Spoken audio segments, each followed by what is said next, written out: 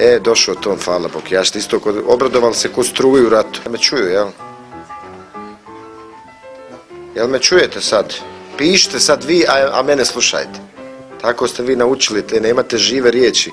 Više niko nikom ne smije reći u, u, u facu volim te, ništa, nego sve kao volim te, pa smajlić, pa kao eto, to je bitno. Kakvi moraš stisnuti onu stvari i reći joj volim te. Kad puste naveče, kad puste naveče porniće, normalno eto da pogledaš malo da vidiš kako, kako, kako to rade majstori.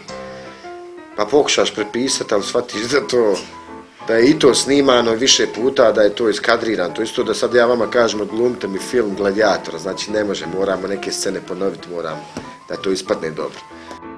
Ajd mi mahni, evo mahno. Ne znamo švako da mahnem ili ovako. Šta s po horoskopu? Nisam ništa. Ja kad sam rođen, meni su određivali datume i već rekao horoskop da ja nisam ništa. Zašto je takva boja kose? Ofalba, farbam se. Šta radiš? Ništa, ja sjedim i pričam s vama.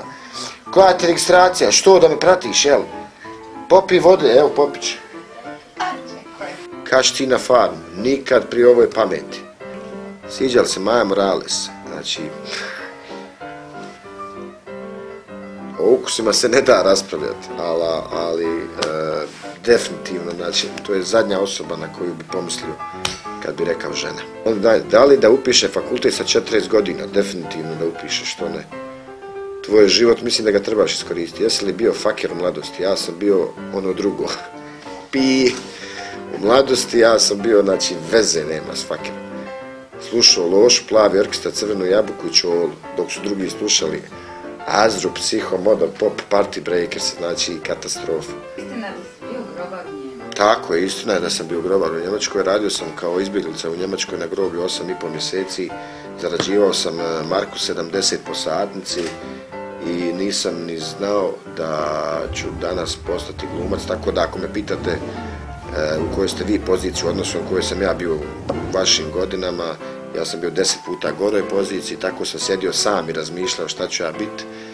I onda nakon toga, kad sam eto, e, upisao akademiju, završio kao najbolji student, e, napisao, napisao sam i scenario za igrani film Danke Deutschland i baš o toj priči o meni koji radim na groblju u Njemačkoj koji graniči sa lokalnim zatvorom tamo i tako jedna jako zanimljiva priča, nadam se da, da će biti ovako malo crna komedija kako kako mi živimo jel, u svojim životima. A vidite se koji je posao najteži koji radimo na čuvar groblja, a svi leže, ja moram stajati. Bu, bukvalno je tako bilo.